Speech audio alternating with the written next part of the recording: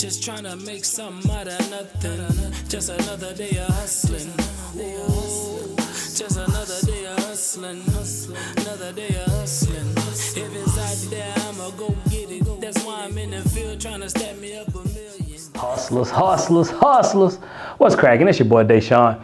Welcome back to another episode of Roof Hustlers, baby, where we tackle all your daily door-to-door objections, rejections, and we teach you guys how to make connections, man. Because if you ain't creating genuine customer connections, building better customer relationships, and providing premier customer service, then you know, like I know, guys, you ain't making a difference in your wallet or the community, baby. And that's what we do over here at Roof Hustlers, man. Help you guys go from average to good, from good to great. Always keeping food on your plate, baby. Because if you do what I do, you know it's a jungle out here. So, this week on Roof Hustlers, what I want to tackle with you guys is I believe the number one thing you should know when you pitching at every door.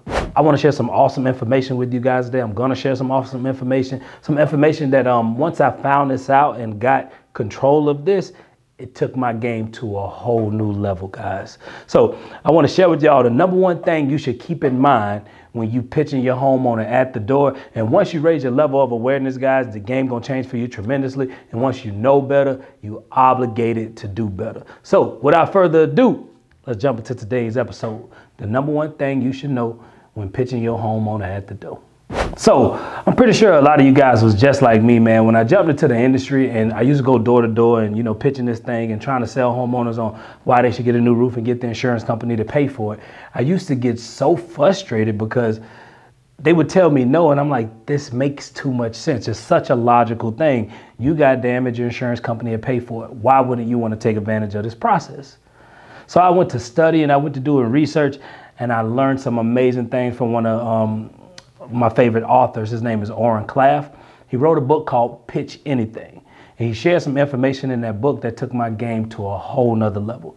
So, like I said, we got this complex thing called the brain, right, guys? And the brain is made up of three parts, pretty much. So, you know, we got the prefrontal cortex. That takes about 10% of the volume of the brain. And that's the part that's, you know, planning, decision making, like all the conscious thoughts, the, you know, the part of being a human that's one of our um, most advanced parts of the brain and is helping us make those decisions long-term goals you know things like that. That's the prefrontal cortex. And then you got the midbrain also known as the neocortex. You know that's the part of the brain with reasoning you know conscious thoughts things like that. And that takes about 76% volume of the brain. It's like the biggest part of the brain. And then we got that um, last part of the brain which is the croc brain our reptilian brain. That's the brain that's known for fight or flight mode. So, you know, anytime you're in a crazy high stress situation, you don't do too much processing, you just react. So if somebody, you know, pull out a gun, for instance, and shoot in the sky, most people just take off running. You don't try to analyze what type of gun it is.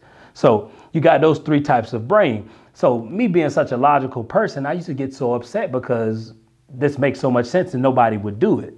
So as I did my research and I found out from Oren Klaff is most people, when we come to the door, we're dealing with their croc brain. We're dealing with the reptilian brain, the brain that decides whether something is fight or flight mode. So the information that we given to them is so, you know, practical, so logical, but they're not receiving it with their logical part of the brain, the midbrain, the neocortex or the prefrontal cortex. They're receiving this information with their croc brain. And that's when most our decision making is made. But it's not too much thought that's involved when we making decisions with our croc brain. It's just, is this important to me? Let me pay it attention. And if it's not an emergency to me, how do I ignore it? So that's the thought process that humans are going through when they at the door. Is this an emergency? Am I in danger? And how fast can I get this salesman out of my face?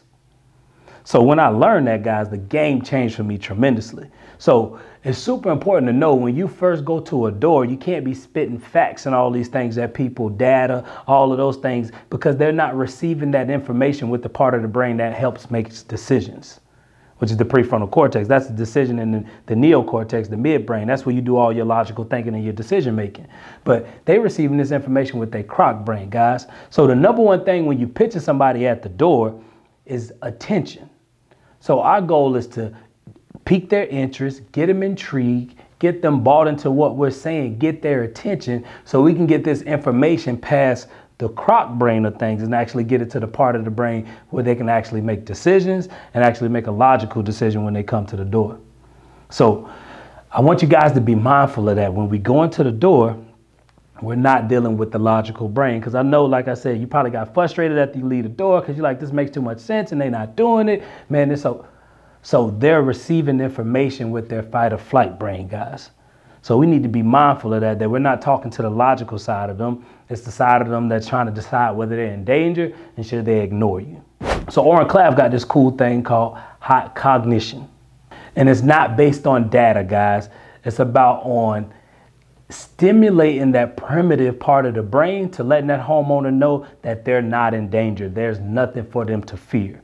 So our goal is to keep them intrigued keep them interested, and keep them present in the moment. So that's why it's so important when you first go to the door, guys, to establish some type of connection, get your homeowner laughing, make them feel good, make them feel comfortable, break the ice, you know, show some interest in them and keep the focus off of you.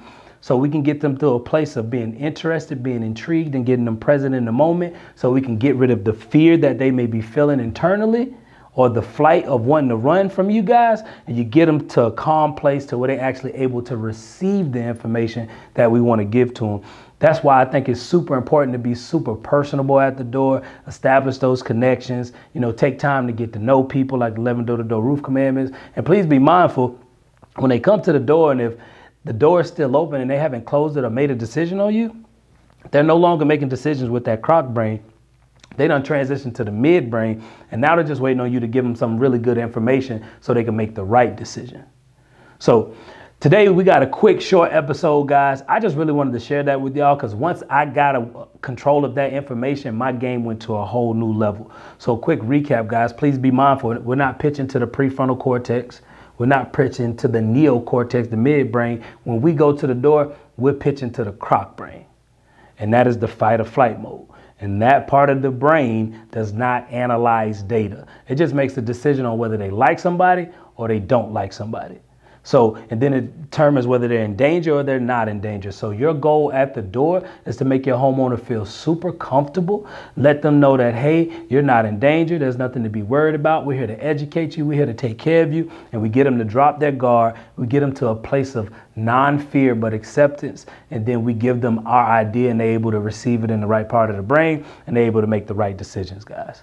So, like I said, short and sweet today. I just wanted to share that with you guys because I thought it was super important. And once I learned that, it took my game to a new level. And it also allowed me to stop taking things so personal personable but personal because these people aren't making decisions with their logical brain. It's just the croc brain that's trying to protect them from being taken advantage of, somebody taking their money and running, somebody trying to scam them. Think about it. These are all the things that's running through their head when somebody coming to the door. It's not, oh, I got damaged. This guy can help me out. It's who is this stranger at my door? Is he trying to scam me? Is he trying to take advantage of me? I don't want his help. Close the door.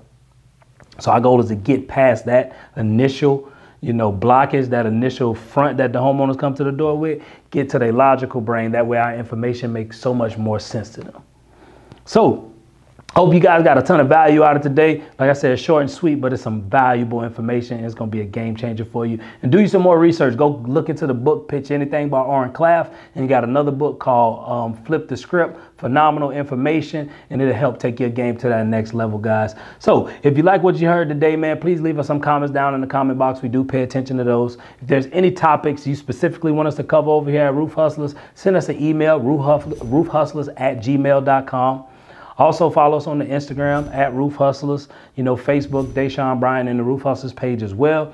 And most importantly, guys, please be aware the Million Dollar Hustler program has reopened up. We're only taking 30 individuals who want to take their game to that next level. The price is 2,997 bucks. Then we have a VIP section as well. I look forward to seeing you guys in the Million Dollar Hustle program. All the other students that went through it have had major success. So I hope to see you there if you want to dominate the rest of 2021. It's always a pleasure talking to you hustlers. And as always, hustle hard, hustle smart, and don't be afraid to bogart. Hustlers, I'm out.